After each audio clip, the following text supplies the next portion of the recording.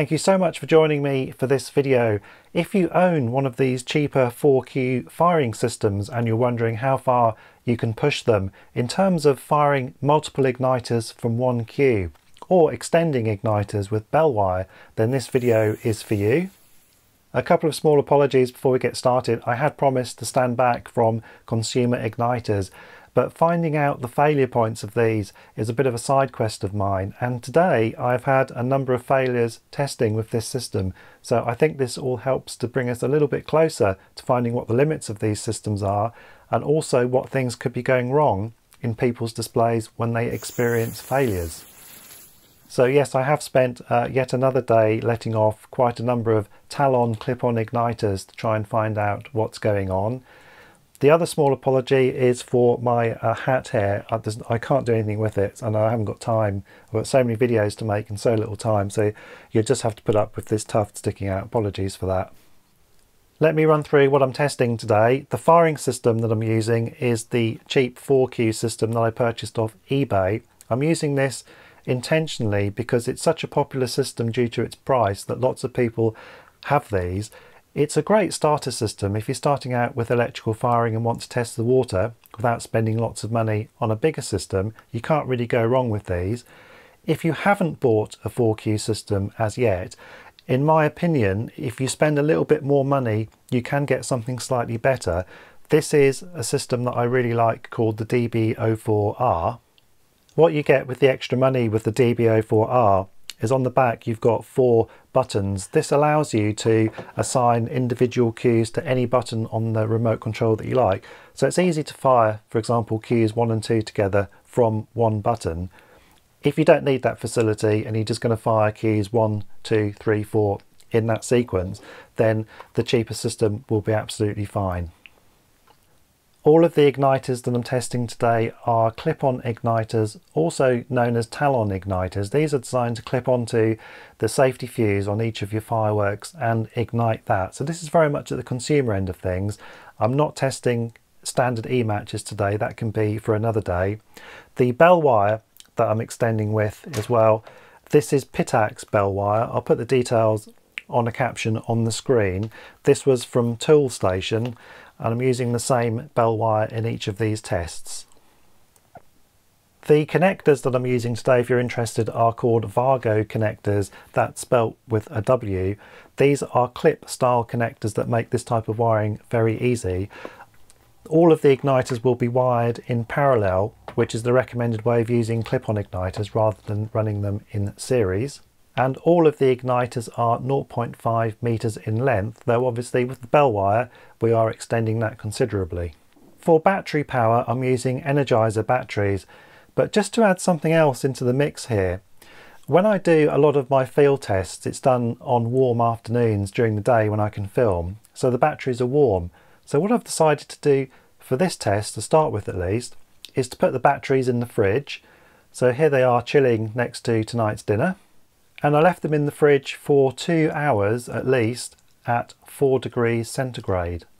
My thinking here is whether cold batteries could be another potential failure point for these systems, so at least we can do a basic test on that today as well. Okay, let's have a look now at what's connected to each cue. On Q1 we have two talons firing together at the end of 2 meters of extension wire. In Q2 We've got three talons firing at the end of four meters of extension wire, so I've added an igniter and doubled the length. In Q3, I have four talons firing at the end of six meters of extension wire. In Q4, initially I had four talons at the end of 10 meters of wire, but as you'll see as the tests unfold, we don't quite get that far. Okay, let's do some firing. Q1, first of all, two talons on two meters of wire.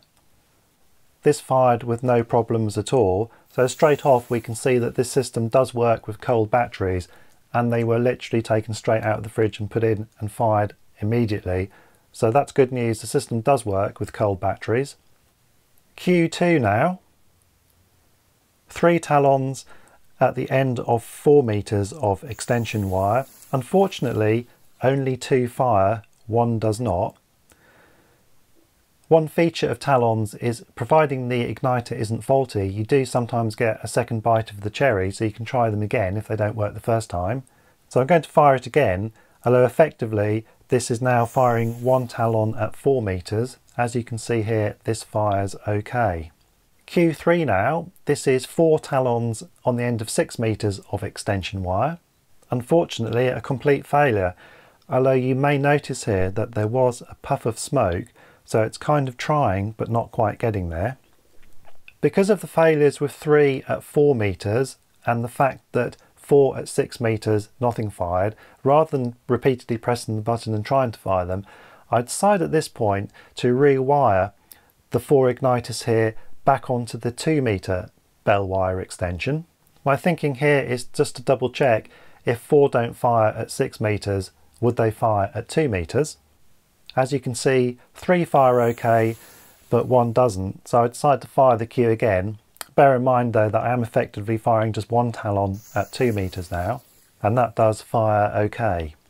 With the failures of four talons at 6 metres, I didn't really see the point of trying four at 10 metres as originally planned. So what I've done here is I've taken two talons out. So now I have two talons firing at 10 metres. Let's see how that goes. Reducing the number of igniters clearly helped in this case. I'm going to fire another two at 10 metres just to make sure that everything's working fine. no problems there. Out of curiosity at this point, I went back to 10 meters and wired four talons in again, but I swapped the batteries out. So I ditched the cold batteries and put in four brand new Energizer batteries which are at room temperature. I wanted to see here whether warm batteries had significantly more firepower, really just to put my mind at rest whether the failures uh, we've just had were down to cold batteries or not. I'm afraid this didn't work. I did try a couple of times as well, but it just wasn't having it with four talons at this distance. Let's take one talon out now and drop down to three, see whether three fire. Remember we've already fired two successfully, but not four. Let's try three. No luck with three, so the cutoff at 10 metres is definitely two talons, any more than that, don't fire. For the next test, I decided to fire four talons, but with no extension at all. I say no extension, there's a small amount of bell wire to wire into the Wago connector, but if you have a look at this setup, this is effectively 0.5 meter talons wired directly into the unit. And as expected, all four fire okay. Testing complete then, at least for today. Can we draw any conclusions at all from a limited test like this? Well, I think we can, although there are going to be some assumptions made as well. Firstly, with regards to cold batteries, whilst we can't say from this test at what point or at what temperature cold batteries will affect the system, we have at least demonstrated that batteries that have been in the fridge for a couple of hours at 4 degrees centigrade at least do still work. The system's still switched on and it still fired some of its talons. Secondly, based on today's tests, I would be very happy to fire one or two talons from 1Q on this system, extended by up to 10 metres. The system seemed to have no problems at all with two talons. However, in jumping up to three or four talons, that's when we started to experience problems.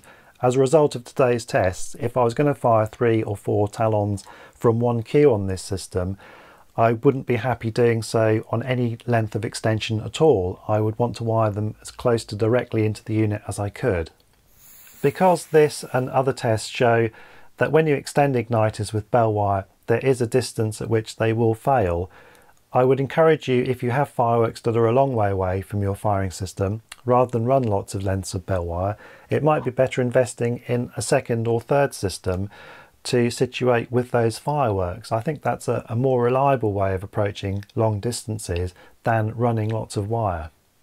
Keep in mind with the tests I've done today, there are lots of caveats. For example, would you get different results with a different brand of batteries? Possibly. At a different temperature? Possibly. If you had a different brand of cheap firing system, would that fire more or less talons at certain distances? That's possible as well. And if you use a different brand of extension wire with a different resistance, that could affect things as well. So Don't take the test too literally today, but I think what we have demonstrated is with one or two igniters on this type of system, you're safe at up to 10 meters. But if you're going to use more than that, then try and keep the lengths as short as possible. That would be my take home from today's testing. Okay, I hope you found this video useful. If you are the owner of one of these systems and you've got that question, how many talons can you fire and at what distances can you extend? I hope this video has answered those questions for you. And on that note, I will say goodbye and I will see you in the next video. Goodbye.